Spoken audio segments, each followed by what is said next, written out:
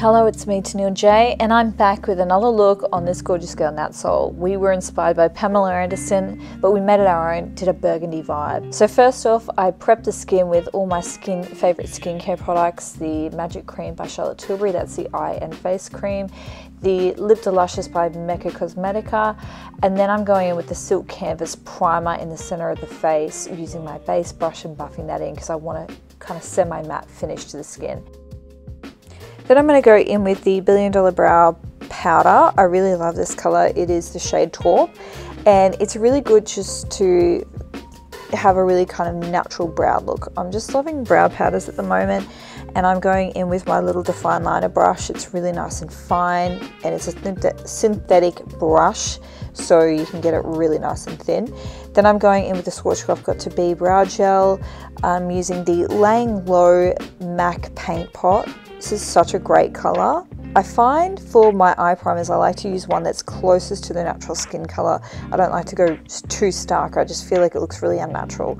Then I'm going in with the Hindash. This is Hindash, I think that's how you say it, eye tone pencil. This is a really beautiful brown, really nice universal brown color and I'm taking my little lip diffuser and define brush and just kind of blending that in. I'm creating my my shape, the shape that I want the eyeshadow to be. I always love this. It's going to give you much more of a color payoff with your eyeshadows and it's just, yeah, a really, I've been doing this technique for so long, it just feels so natural to me, but just try it and you can always, if you stuff up, you can just wipe it away.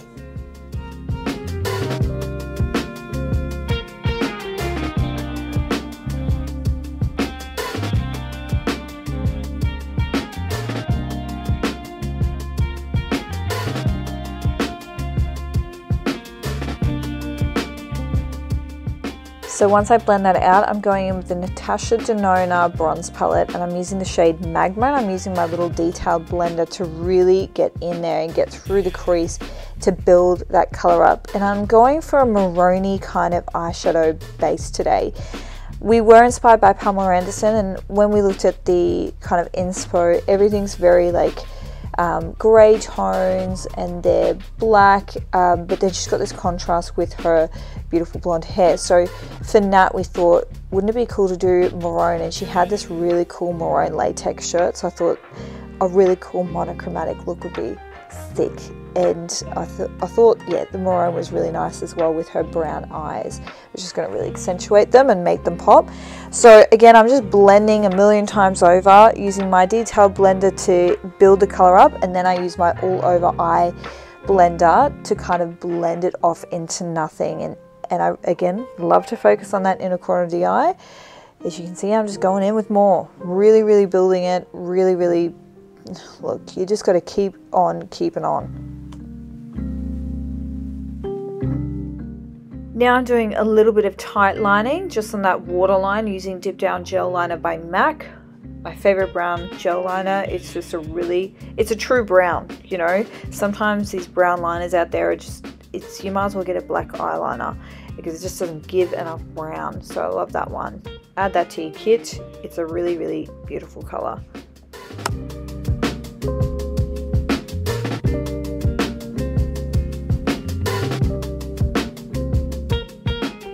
So now I'm going in with that paint pot again using the shade Laying Low and I'm going to do like a little bit of a cut crease moment just sitting underneath that crease um, using my lip definer brush. This is the Define End um, and just really kind of creating some contrast in the eye because I want this to be an all matte look on the eyes. I don't want to use any shimmers because I want it to be really kind of 90s and I'm sure you'll see as I do many more tutorials, I love the 90s vibes.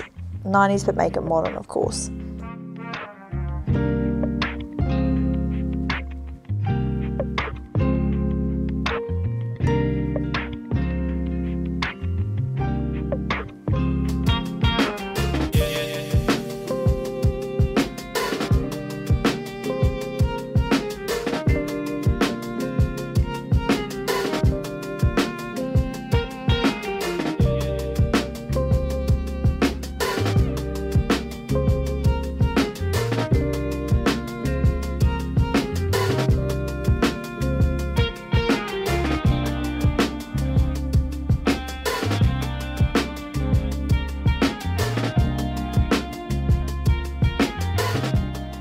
Popping a little bit of the mascara on. This is the Essence Mascara in the Lash False Lash Effect. Um, I'm a bit random with my processes. Sometimes I'll put mascara on right at the end. Sometimes I put it halfway through. At this point I was like, I just want to see how dramatic the makeup look will be once I add the mascara and then I made decisions on when I'm, when, whether I'm going to add eyeliner. At this point, I was like, yeah, let's add a little bit of liner just to define that outer corner of the eye. So I'm using the gel dip down liner by MAC, of course, going back in there, and I'm just focusing the eyeliner on the outer corner. And I'm using my defined liner brush. Of course, I love that brush. It's so thin, so good for applying liner. Okay, now I'm going in under the eye using that same eye pencil as before, the Hindash one, and I'm using my lip diffuser brush um, just to kind of blend that underneath. Now this brush is a lip brush, I, well I created it for lips, but you can use it for eyes as well, because that end is like, it's great for application and blending, and then the other end is like, almost like a mini concealer brush, um, so it's really good for like those cut creases and that sort of thing. Okay, now I'm going in with some lashes. I found these off Amazon. Really great. They come in, they have all the mid sizes. So there's like 12 mil, 11 mil, 10, 9, 8, 7, 6, whatever. So really, really great to build like a really nice full lash. And um, I'm really focusing on, again, like probably more length throughout the whole lash with this look rather than normally I like to do more of a winged kind of lash but I've kind of gone for a full lash which I feel like is a little bit more 90s. At this point I decided I just want a little bit more um, depth and darkness on that lash line so I'm using the Clé Cosmetics um, their eyeliner. This eyeliner is so epic honestly, so beautiful. The tip is one of the best tips I've ever used. So for my contour, I'm using the Fenty Match Stix. This is in the shade Truffle. Love these products. They are just so good and they've become creamier with their new formulation. I love them. So the shape I'm creating is I want really highly structured. I'm not going to be using any blush in this look because I want it to be really kind of about the eyes and the lips and kind of be very flat and matte because that is the vibe of the 90s. Um, and I'm taking this bronzer a little bit further down. Probably how, if I was to do male makeup and contour um, a man's face, this is where I would contour. So I would make the bones really stand out and almost go down around the mouth. So that's kind of what I'm doing for this look because I want it to have that really strong, striking kind of effect.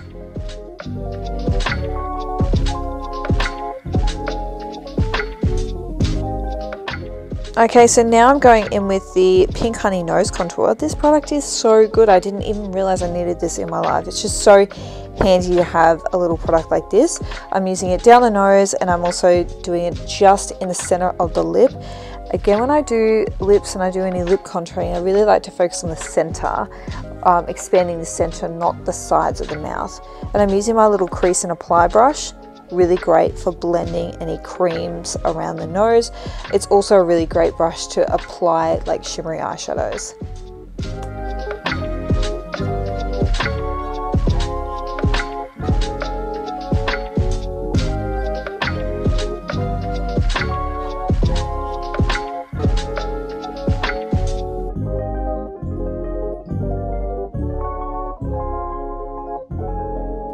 I'm also taking that Pink Honey nose contour and I'm actually going to put it underneath the eyes. And I really like to thicken it up right in the inner corner of the eye in that area there that's going to straighten out the eye. It's going to make the eye look a lot larger um, rather than focusing on a really heavy outer corner.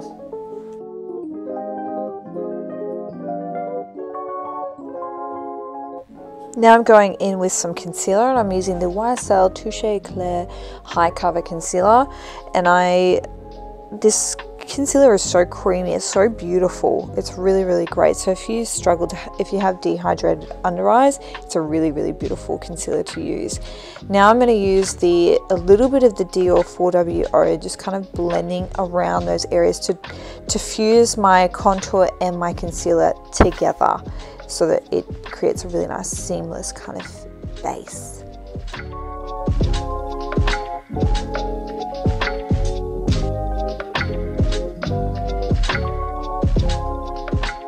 Forget, don't forget the neck. We always got to make sure that we our face matches the body, so always pop it a little bit under there, you know. Now I'm going in with my um, the Laura Mercier powder, translucent powder, and I'm just happy in the center of the face. Again, not going to be afraid of powder today because this is the look that we're going for. It's the Kevyn Aucoin, you know, vibe that's what we're doing. So I'm going to smoke up the under eye now with that same shade that I used earlier from the Natasha Denona palette, the Magma, and I'm really building it up underneath the eye. So first of all, I use my little detailed blender and now I'm going in with my define liner brush and I'm really building it up. So I have a lot of color under there and that just kind of smokes up, sexies up the eye. And now I'm just dusting away that powder with my little highlight brush. Really love this little, it's like a bunny tail brush. And then um, I did powder a little bit on the lips to mattify the lips a little bit. It's going to help my lip liner really stand out. Okay, so the first lip liner I went in with was the Foxy Brown lip liner by Charlotte Tilbury, but this was really ballsing up. The texture, it was just not it. Now, I don't know whether it's because maybe the air had gotten to it, so I just, it was hard. But once I started, I just, you know, kept going. But it wasn't an easy pencil to work with. Um, the Charlotte Tilbury ones, I don't know, they're a bit of a hit and miss for me for the, the formula. Um, however, their colors are so good. Like the Foxy Brown shade is so nice. But I'm just kind of blending in around the lip line. Um, again, we're creating that 90s look. So yeah, blending, blending with my little, this is my Rescue Smudger brush, um, which I also like to use for lips. Now I'm going in with, what shade is this? What is that? I think that, well, that's the same one, but now I'm like, oh, stressing out because the color is just not, it's just, yeah, look, I'm just being honest, it just wasn't, it looks nice on camera, but in person it just was getting a little bit funny. So then I went in with, this is the Oak Lip Liner by MAC, and just kind of blending it out because I was like trying to fix it. But then I was like, I don't want to remove it at this point because I've just, it's a really hard one to remove, and then I have to remove all the color around the lip. So just, I'm just trying to blend it out.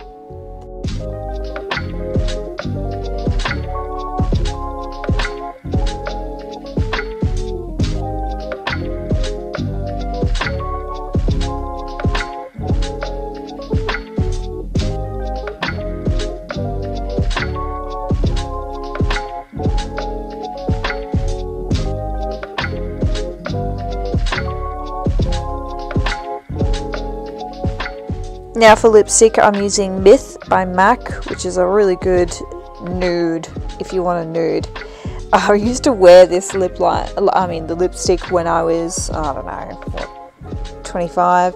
And it was like my go-to lip color, but I wouldn't wear any lip liner with it. So it was just like a foundation lip. I wouldn't suggest on the day-to-day -day that, that's just not a vibe. So, but it works so well with like a darker lip liner. It just gives you the best fleshy tone lip and going back in with the oak lip pencil just to kind of diffuse those two together. And yeah I'm loving that loving that vibe. Patting that lip down with my little powder puffs. If you haven't got these honestly they are the softest little puff. Really great for powdering. And then I'm just going in with the vanilla lip glaze by Laura Mercier then I'm going in with the Gimme Sun Bronzer by MAC using my face powder brush. Now, if I could have only one bronzer, powder bronzer for the rest of my life, I think it'd be that one. It's so nice. I'm using the Dip Down Gel Liner just with my little angle brush and just filling out the little beauty spots and adding an extra one just because it's fun. And then going in with my second coat of mascara because I always like to do a second coat to really build up those lashes and fuse those I the lashes with the false lashes. Now she's pulling her hair out and honestly she had gotten bangs that week so this was our little debut of her bangs and what a showstopper she is. Honestly, look at that. How hot is she? I couldn't even deal. I wasn't even breathing when I was taking these videos. Stop. Bloody nat. If you love this tutorial, let me know. Leave a comment. Give us a like. Subscribe so I can keep bringing more of these tutorials.